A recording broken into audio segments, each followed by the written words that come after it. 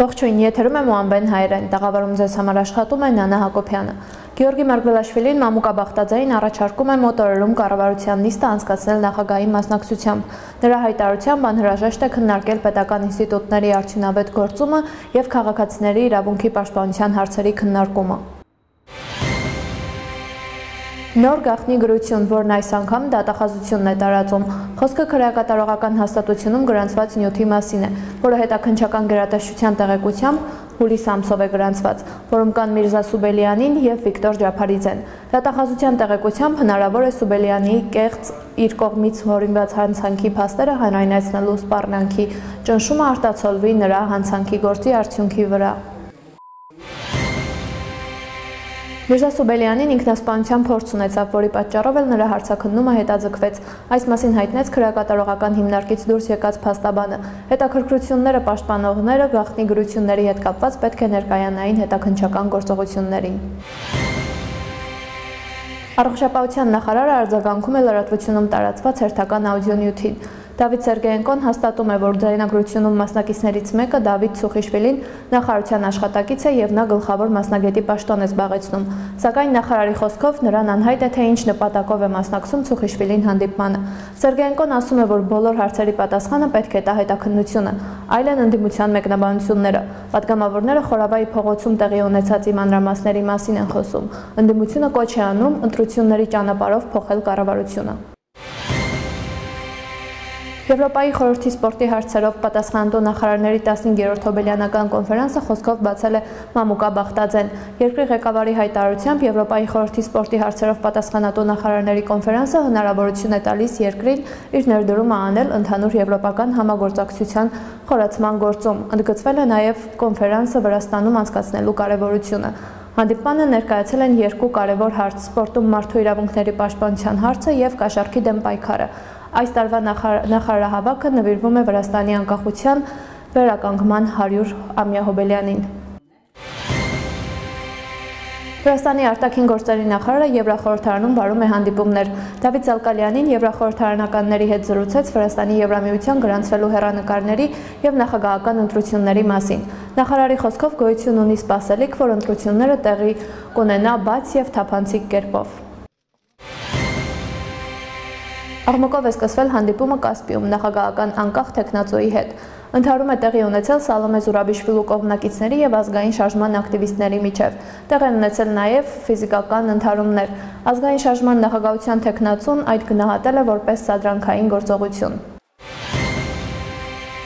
Թբիլիսիի քաղաքապետը ներկայացրեց մայրաքաղաքի համայնքային զննումը հաստատվեց զնման դրույթը։ Թբիլիսիի քաղաքապետի վերահսկիչ քաղաքային ծառայության անունը փոխվեց սեպտեմբերի 25-ին ըստ Մայրաքաղաքի Սակրեբոլոյի կանոնակարգի եւ անվանվեց համայնքային զննում։ Անվանափոխության հետ միասին գերատեսչությանը ավելացավ որոշ ֆունկցիաներ, այդ թվում աղմկի կարգավորման եւ շինարարության վերահսկում։ Ֆունկցիաների ավելացման հետ ավելացավ նաեւ տեսուչների քանակը։ Քաղաքապետն այսօր գերատեսչությանը փոխանցեց 30 նոր ավտոմեքենա։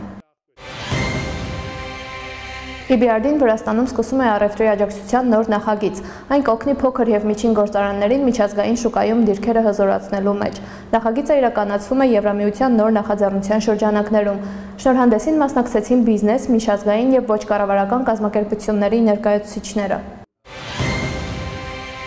Ֆինանսների նախարարության եկամուտների մաքսային սպաները Թբիլիսիի օթանավակայանից հանձին 2 կիլոգրամ կոկային։ Հետաքննության տեղեկությամբ կասկածի հիմքով Ուկրաինայի քաղաքացու անձնական բեռը ստուգելիս հայտնաբերեցին 4 հատ երկաթե աման։ Ամաններում ըստ առաջին տեղեկության տեղադրված էր թմրանյութ կոկային։ Գործի բանամասները փոխանցեցին ներքին գործերի նախարարությանը հետագայում արձագանքելու նպատակով։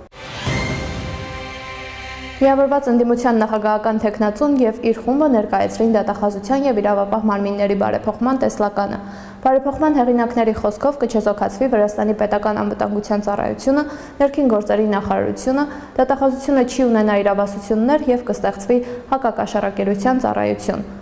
Գեորգի Վաշաձեի խոսքով նոր գերատեսչությունները կսկսեն գործել, որոնց կընտրեն միջազգային փորձագետների խորհուրդը։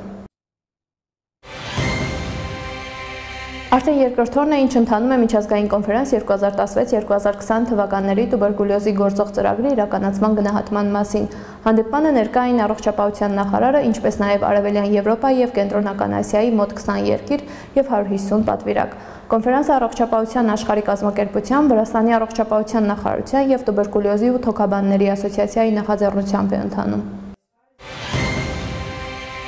Ոչկառավարական կազմակերպություն քաղաքացիական զարգացման գործակալության նախաձեռնությամբ կազմակերպվեց մշակութային agrarային տուր։ Նախագծի շրջանակներում Վրաստան այցելեց ադրբեջանական պատվիրակությունը։ Հյուրերը ուսումնասիրեցին Կախեթի եւ Քվեմոքարթլի շրջանում արկա գործարանները, հանդիպեցին տեղի ձեռնարկատերերին եւ նրանց հետ քննարկեցին ապագա համագործակցության հնարավորությունները։ Հյանաստեղծություն չես կորչի։ Այս անվանումով Ռուսթավելիի թատրոնում կայացավ ժողովրդական պոեզիայի երեկո։ Հյուրերի արչև հանդես եկան Վրաստանում ապրող էթնիկ փոքրամասնությունների ներկայացուցիչները, ովքեր ներկայացրին իրենց էթնոսը բնութագրող ժողովրդական արվեստի լավագույն նմուշները։ Նախագծի նպատակն է անցած դարի 80-ական թվականների ժողովրդական երեկոների մշակույթի պահպանումը եւ ապագա սերնդին փոխանցումը։ Հիշեցնում ենք, որ հոկտեմբերի 28-ին Վրաստանում տեղի կունենան նախագահական ընտրություններ։ Այդ կապակցությամբ առաջին ալիքը իր եթերաժամը հավասար տրամադրում է բոլոր նախագահության տեխնացուներին։ Մինչև հոկտեմբերի 28-ը առաջին ալիքի եթերում հասարակությունը հնարավորություն կունենա դիտելու նախագահության տեխնացուներին 3 տարբեր ձևաչափերով։ Սեպտեմբերի 26-ից մինչև հոկտեմբերի 25-ը Մոամբեի գլխավոր թողարկման մեջ յուրաքանչյուր տեխնացուին հնարավորություն կտրվի դիմել ընտրողին 10 րոպեվա ընթացքում եւ ծանոթացնել իր տեսլականի հետ։ Երկրորդ ձևաչափը նկատի է առնում Հայաստանում նախագահության տեխնացուների միջև անցկացվելիք բանակցությունները, իսկ երրորդ ձևաչափը հնարավորություն կտա տեխնացուներին իրար բանավեճերի հրավիրել։ Համապատասխանաբար մենք հերոստադիտողին կառաջարկենք տվյալ ձևաչափերը հայերենով, իսկ այսօր ներկայացնում ենք Վրաստան կուսակցության կողմից ներկայացված նախագահության տեխնացու Գեորգի Լիլուաշվիլու ելույթը։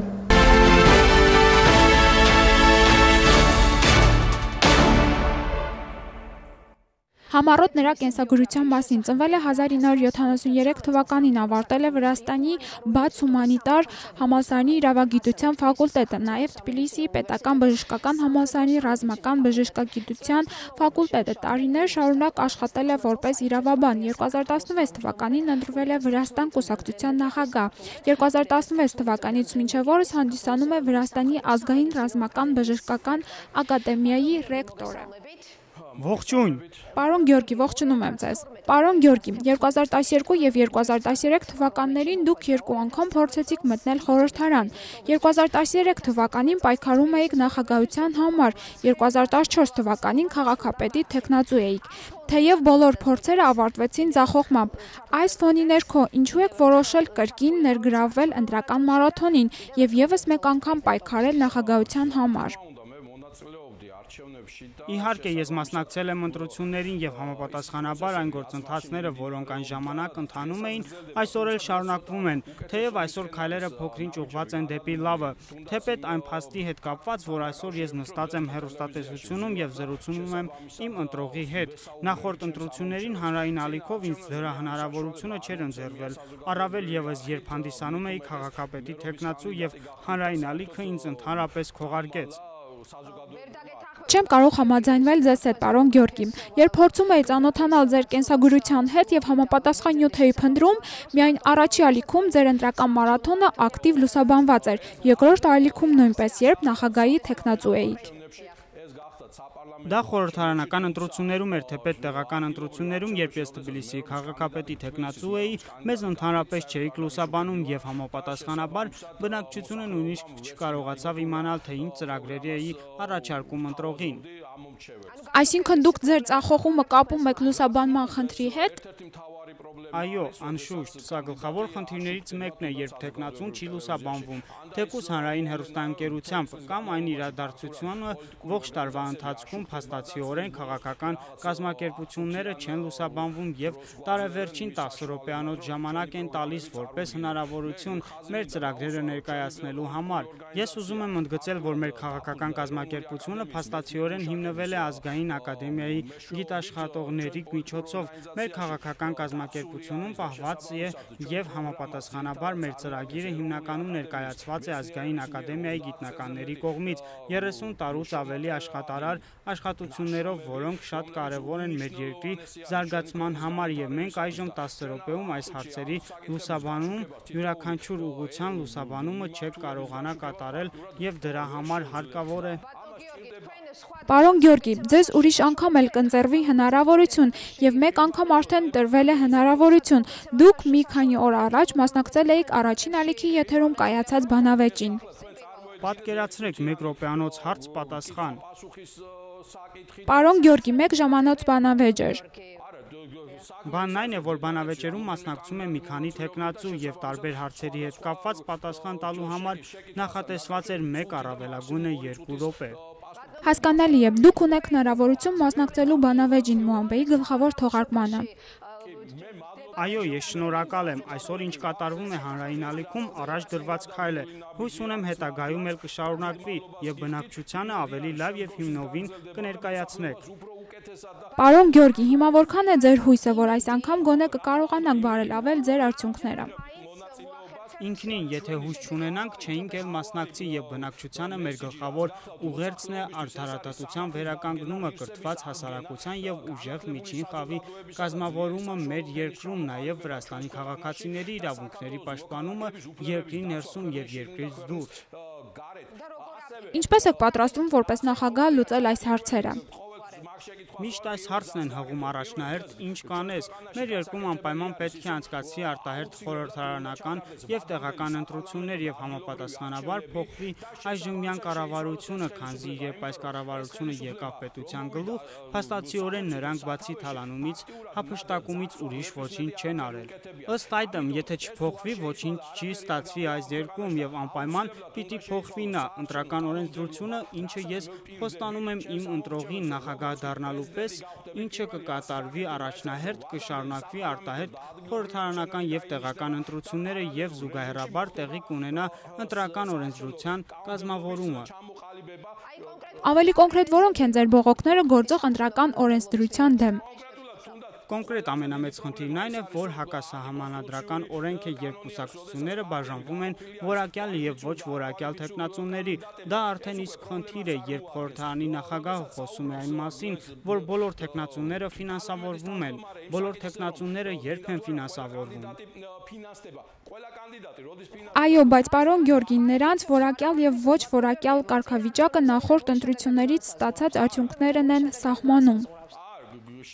Ինչպես պետք է արդյունքներ առաջանան, կրկնում եմ ես մեկ անգամ եւ ընդգծում, որ մենք չենք լուսաբանվել ընդհանրապես, համապատասխանաբար այս արդյունքները առաջանում են համաձայն նրա։ Եթե դուք տեղյակ եք բնակչության 56%-ը չի ներկայացել ընտրություններին, բոյկոտ է հայտարարել ընտրություններին եւ այժմ պատրաստվում է նույնը կրկնել բնակչությունը չի ճանաչում եւ չենք կարողանում ավելի լավ ճանաչել տեխնացուներին եւ չենք կարողանում ներկայացնել մեր ծրագրերը նրանց։ Սա է խնդիրը։ Հիմա ունեք հնարավորություն, որ ձեզ ավելի լավ ճանաչի հերոստադիտողը։ Իհարկե, բայց հենց սա է պետության երկարաժամկետ զարգացման ռազմավարական պլանը, եթե գոյություն չունի եւ չունենա այս տեխնացունները, այս ծրագրերը համապատասխանաբար բնակչությունը բողոք է հայտարարում եւ չի ներկայանում ընտրություններին, սա է ողբերգությունը։ Դուք ինչպես եք պատկերացնում պարոն Գյորգի ապագա նախագահի դերը եւ ֆունկցիաները։ Ձեր տեսակետից կարող են ներկայացնել դուք ինչպես եք պատկերացնում եւ ինչպես կկարողանաք կատարել ապագա նախագահի դերը եւ ֆունկցիաները։ Իհարկե կարևոր դեր կունենա այս ընտրություններում հաղթող նախագահը, քանի որ նրան ժողովուրդն է ընտրում, փաստացիորեն նրան ժողովուրդն է տալիս լեգիտիմացում եւ այսօր անհրաժեշտ է գա այնպիսի նախագահ, ով կրկին կշարունակի այն մեխանիզմը, երբ ժողովուրդն է ընտրում երկրի նախագահին։ Սա կարևոր է, սա այն է, որ երկրում փաստացիորեն իշխանությունը բաշխվի եւ տեղի ունենա փաստացիորեն։ Բոլորդ էլ լավ գիտեք, թե ինչ վիճակ է տիրում խորհրդարանում։ 150 միլիոնատեր է նստած, ովքեր փաստացիորեն վերահսկում են ողջ բիզնես միջավայրը եւ համապատասխանաբար ձևավորվել են կլանային մաֆիոզական խմբավորումներ։ Քիչ առաջ տարածված տեղեկության փաստացիորեն հանցագործական գործողություններ են կատարվում խորհրդարանի եւ կառավարության կողմից։ Այդ իսկ պատճառով կարևորը, որը դրանից պետք է ազատվել համապատասխանաբար, պետք է տեղի ունենա ժողովրդի ժողովրդավարական ընտրական օրենսդրության վերամշակումը, ըստ դրա էլ պետք է անցկացրի ընտրությունները։ Լավ, պարոն Գյորգի, նախագահի գլխավոր դերը կլինի նաև արտաքին հարաբերություններում ներկայացնել երկիրը։ Դուք ինչ ուղերձներ կհնչեցնեք միջազգային ամբիոններից ձեր հաղթանակի դեպքում։ Իհարկե, կարևոր է մեր հարաբերությունը Եվրոպայի հետ։ Այս ընթացքը չպիտի դադարեցնենք, թեև պետք է փորձենք մեր տարածաշրջանում զարգացումը, անհրաժեշտ է կովկասյան պետությունների միջև հաստատվի ավելի մեծ կապեր եւ համապատասխանաբար զրույցը ուղղվի դեպի միասնական տան կառուցումը։ Սա է կարևորը։ Նաև մեզ համար կարևոր պիտի լինի այն պետությունները, որոնց հետ մենք ճունենք տարածքային վեճ, տարածաշրջանում մենք փաստացիորեն բոլոր պետությունների հետ ունենք տարածքային խնդիրներ։ Այդ իսկ պատճառով կար, որ կլինի նաև Ուկրաինայի հետ մեր հարաբերությունը, մերձբալթյան պետությունների հետ հարաբերությունը եւ Եվրոպայի այն պետությունների հետ հարաբերությունը, որոնք ամեն կերպ մեզ աջակցում են, իհարկե, Ամերիկայի հետ էլ։ Հասկանալի է, պարոն Գյորգի։ Մեզ քիչ ժամանակ է մնում։ Դուք հարցազրույցներից մեկում ասել եք, որ աշխարհը Վրաստանին պատշաճաբար չի ճանաչում եւ պատկերացում է կազմում միայն առանձին քաղաքական գործիչների հայտարարությունների համաձայն, եւ այս տեսակետից դուք պատրաստվում եք հատուկ գրառում մտցնել օրենսդրության մեջ։ Կարող եք կոնկրետացնել, ինչ նկատի ունեք։ Օրենսդրության մեջ սրան հարկավոր չէ որևէ փոփոխություն մտցնել, այն որ աշխարհը ճանաչի մեր երկիրը անհրաժեշտ է ավելի ժողովրդավարական գործողություններ երկրի հանդեպ եւ համապատասխանաբար դիվանագիտական կորպուսը պետք է ցուցաբերի ավելի մեծ հետաքրքրություն ընդդիմական քաղաքական կազմակերպությունների նկատմամբ եւ ոչ թե որևէ խմբավորման, որը ստեղծված է արհեստականորեն եւ իրենց համարում է ընդդիմություն այդ ընդդիմական քաղաքական կազմակերպությունները ավելի կոնկրետ ազգային շարժումը նույնիսկ չեն կարողանում ընտրել իրենց նախագահին եւ համապատասխանաբար նրանք խոսում են ընդդիմական քաղաքական կազմակերպության եւ հիմնական ընդդիմության մասին։ Այդ իսկ պատճառով այս հարցին դիվանագիտական կորպուսը պիտի ցուցաբերի ավելի մեծ հետևողականություն եւ ավելի պետք է հետաքրքրվի երկրում արկա քաղաքական իրողությամբ։ Լավ, պարոն Գյորգի, մրցակիցներից կառանձնացնեք որևէ մեկին։ Փաստացիորեն բոլորն էլ իմ մրցակիցն են, բոլորի հետ պայքարում եմ նրա համար։ Հասկանալի է։ Լավ, վերջին 1 րոպեն ընձեռնում եմ ձեզ ձեր ընտրողներին դիմելու համար։ Իմ ընտրողին իմ դիմումը, որ անպայման կան ընտրություններին աջակցեն ինձ ընդգծեն 17-րդ համարը եւ անպայման ինչ խոստանում եմ կիրականացվի։ Դա կլինի արտահերթ խորհրդարանական եւ տեղական ընտրություններ եւ համապատասխանաբար իմ ուղերձը բնակչությանը կլինի արդարադատության եւ արժանապատվության վերականգնումը կրթված հասարակությունը եւ ուժեղ միջին խավը, որը մեր երկրում վերցրել է եւ եթե չլինի միջին խավ, մեզ ոչինչ չի փրկի եւ համապատասխանաբար Վրաստանի քաղաքացիների իրավունքների պաշտպանումը երկրի ներսում, նրա սահմաններից դուրս սա է կարևորը։ Վերջերս արտագաղթում գտնվող կինը խոշտամբամբ սպանվել է եւ մենք չենք արձագանքել եւ մենք չենք պաշտպանում մեր քաղաքացիներին օտար երկրում։ Այդ իսկ պատճառով սրանք կարևոր հարցեր են։ Նախագահը պետք է հոգա դրանց համար եւ նաեւ պայքարի։ Շնորհակալություն, Գյորգի Լիլուաշվիլի։ Մեր հարցերին պատասխանում էր Վրաստան կուսակցության կողմից առաջադրված նախագահի տեխնացուն։